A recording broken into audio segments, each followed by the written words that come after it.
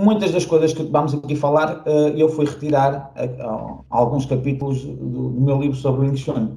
Vocês sabem que a medicina tradicional chinesa tem a ver com a saúde, não é? O Wing Chun é uma arte marcial, portanto, aparentemente são coisas diferentes, mas a gente sabe que elas vêm do mesmo país, não é?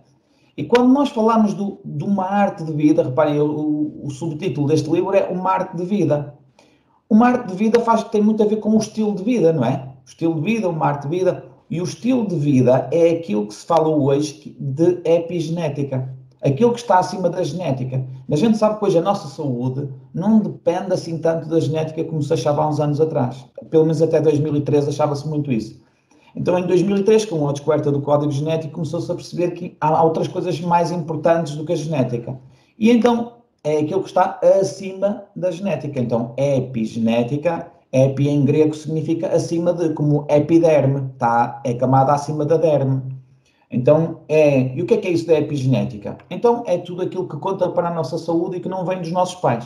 É o estilo de vida, não é? Se fazemos desporto, se não fazemos, se dormimos bem ou não, se dormimos tarde ou não, se comemos muito à noite ou não, uh, se comemos porcarias ou não, como é que nós pensamos, como é que nós estamos na vida. Basicamente, são estas coisas todas e mais algumas. E é aí que entra também o Wing Chun, porque na verdade é, um, é de facto um, um estilo de vida, é uma arte de vida, é uma maneira de estar.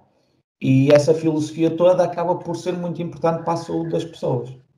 À medida que as pessoas vão fazendo o Wing Chun, vão fazendo o download da aplicação. É? Isto é um, é um, um, modus operandi, é um sistema que a gente vai percebendo como é que é o sistema e a partir daí podemos fazer uh, depois uma aplicação na nossa vida desse sistema. E é aí que as coisas se cruzam. Entre outras. Olha, por exemplo, o último capítulo deste livro fala exatamente, fala exatamente do Wing Chun como terapia. E eu falo N coisas, olha, por exemplo, aqui falo do Wing Chun e da neuroplasticidade, porque isto mexe muito com a, a concentração, com a bilateralidade, não é? A, a, lateralidade, queria dizer, e essas coisas todas. Foco. Então vamos começar com, já que vamos falar de medicina tradicional chinesa, vamos falar dos, dos ramos da medicina tradicional chinesa. Não é? Isso fica norte, sul? Fica abaixo de Pequim, mais abaixo. Ah. Mas não fica assim muito longe. Eu não, eu, não, eu não fui aqui, nunca fui aqui. Estive em Pequim, mas nunca fui a, a Guilin. Mas se vocês escreverem Guilin no, no, no, no Google você, e ver assim paisagens deste género e outras assim muito bonitas. E, e eu vi fotos do meu colega que foi lá e de facto uh, as fotos, de facto, aquilo é, é mesmo o, o que a gente vê nos, nos postais, porque às vezes engana um bocado, mas é mesmo assim aquilo, é mesmo lindíssimo. O livro uh, toda a gente também já conhece. E estávamos aqui na acupuntura. Então, uh, temos aqui o, os caracteres de Shangji. Estão a ver que isto são, quer dizer, se calhar não conseguem perceber muito bem, mas isto são dois. Este, este aqui é um e esta parte deste lado é outra. E este caractere aqui de baixo significa fogo. Roi, Reparem que eles, eles, quando dizem acupuntura, já estão a dizer fogo. E, e vocês olham para aqui e veem agulhas. E se olharem aqui para cima, veem agulha e ponto. Agulha e ponto, o que é que isso tem a ver com. Pois, é que os chineses não dizem agulha no ponto. Isso foram os jesuítas que trouxeram a ideia da, da coisa para aqui, para o Ocidente. Um, eles dizem agulha deste lado e aqui dizem moxibustão. Ok? Que tem a ver com a técnica de aquecer pontos com, com uma planta que é artemisia e que é uma técnica diferente da acupuntura, mas eles misturam as duas na mesma, no mesmo nome. Então é Janjiu. E já agora, Moxa vem do japonês. Quando nós dizemos Moxa Bustão, vem de Mogusa, vem do japonês. Por acaso não fomos buscar a palavra ao chinês, fomos buscar ao japonês. E os japoneses também usam muito a Moxibustão. Uh, então, basicamente, isto é aquilo que passou para o ocidente da medicina chinesa, é aquilo que as pessoas associam muito à medicina chinesa, mas é só um bocadinho, é a ponta do iceberg. A medicina tradicional chinesa é muito mais do que a acupuntura. E o ramo principal é até este, fitoterapia chinesa, que se diz Chong Yao. Estão a ver outra vez aqui o Chong, centro, e Yao significa remédio ou medicamento. Tem aqui o caractere, este caractere em cima é o caractere erva, sal. Então é a terapia com as ervas, fitoterapia, que por acaso para os chineses não é só ervas, como vocês sabem, os chineses utilizam tudo. E temos uma raiz, que é o ginseng, que é Artemisia, uh, não é Artemisia, desculpem, é um, a planta das senhoras, uh, Danguei. Temos alcaçuz, uh, que é uma planta que também existe aqui, temos também frutos, estão a ver, também usam o caroço do fruto, uh, e utilizam bichitos, estão a ver aqui, lá na China. Aqui não, a fitoterapia que se encontra aqui não, é tudo à base de plantas, mas lá eles utilizam tudo, flores, até minerais também usam.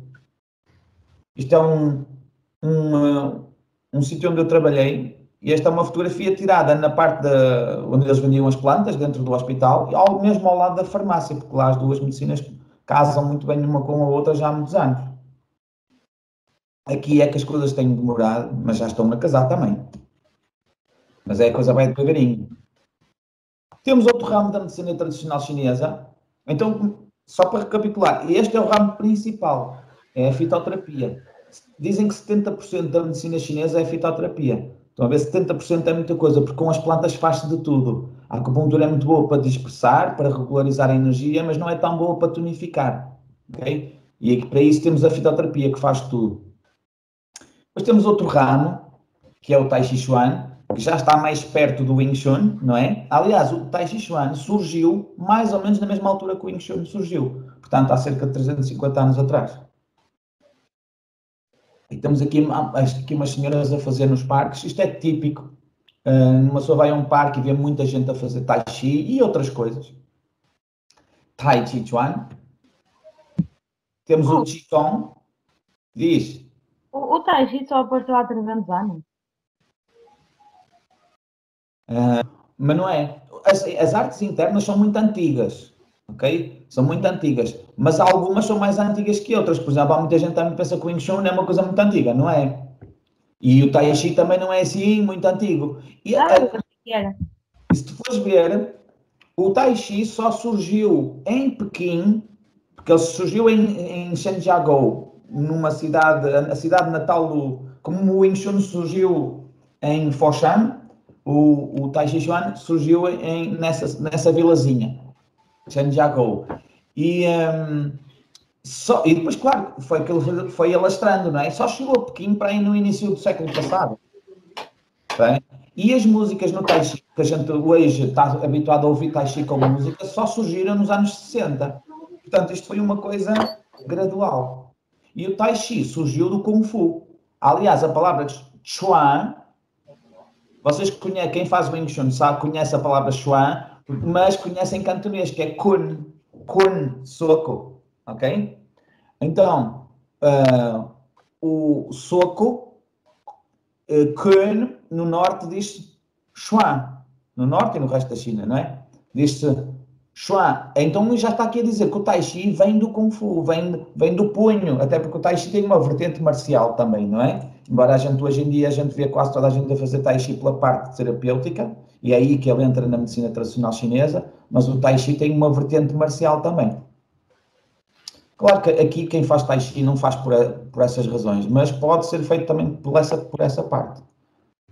Então é, é, é chamada as artes internas, o Tai Chi, o, o Qigong, o Pakuachan, tem, é mais um trabalho mais, mais interior. Embora também se vê alguns pontapés, algumas coisas, alguns ataques, mas está mais dissimulado, não é?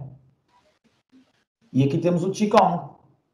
E o Qigong entra em, entra em quase tudo que é arte marcial chinesa, umas mais, outras menos, mas uh, o Qigong está lá presente em todos. Porque então, também temos o Qigong marcial e existe o Qigong terapêutico.